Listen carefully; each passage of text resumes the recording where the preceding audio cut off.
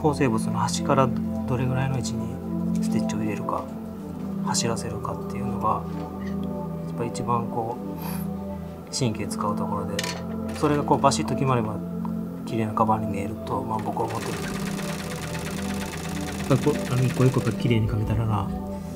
かわいそうやなとかっていうふうに思いますね。カバンのシルエットであったりとかその細かいディテールなんかにも全てステッチが入ってる